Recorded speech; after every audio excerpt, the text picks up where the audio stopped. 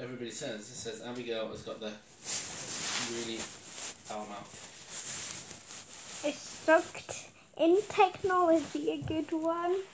Making my way for town. I think maybe. Hmm.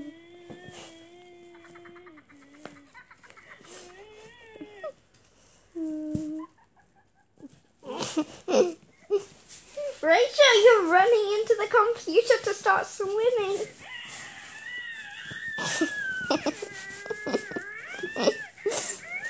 Why did I record this for you? Angry. Ow. Oh,